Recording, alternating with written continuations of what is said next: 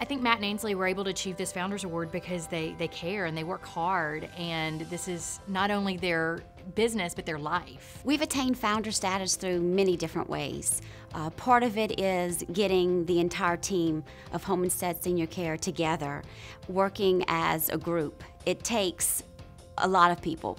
It takes the staff and the caregivers all being together with one frame of mind and one goal. I think the partnership between Home Instead and the Greater Baton Rouge Food Bank is a natural one. I think um, they care so much about seniors. They want to keep these seniors at home with their families.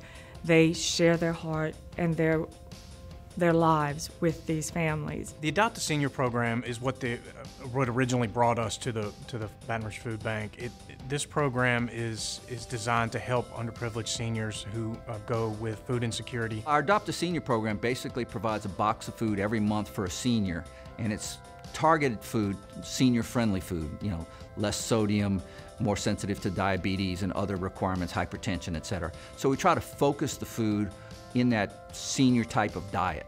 And it's really to ensure that seniors in need get that assistance to tide them over through the month. One of the things that is, I, I feel, that is the, one of the most rewarding parts of my job. Even though it's extremely hard work, coordinating and so forth, it's a huge undertaking, but Be a to a Senior is touching so many lives in our city. One of the places that we um, distribute the Christmas gifts is the Baton Rouge Food Bank through their Adopt a Senior program.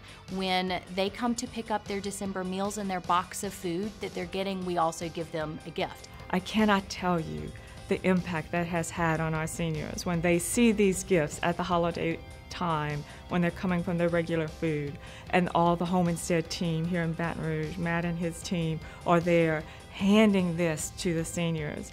It's just so heartwarming because that touch is what's so important. There was a lady that came through and got her gift, and she started to drive off, and she stopped about 15 feet from where the next person and prevented the next person from driving up. She just stopped, and she put her head down and she was crying. And I and so I, I was standing there next to Miss Charlene, and I said, "What's going on?" So I walked over to the window to see if she was okay, and she just had her head down, crying. And she and she just said, "You have no idea what you just did."